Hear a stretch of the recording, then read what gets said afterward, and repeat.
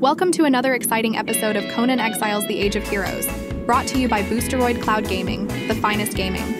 Perfect for that older PC and playing on your tablet and phone is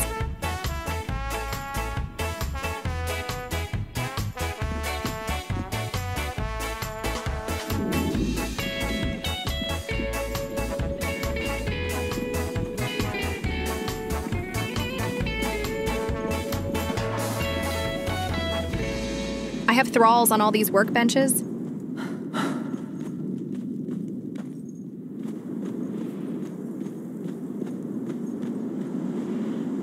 As you can see, my living settlement is more like a ghost town.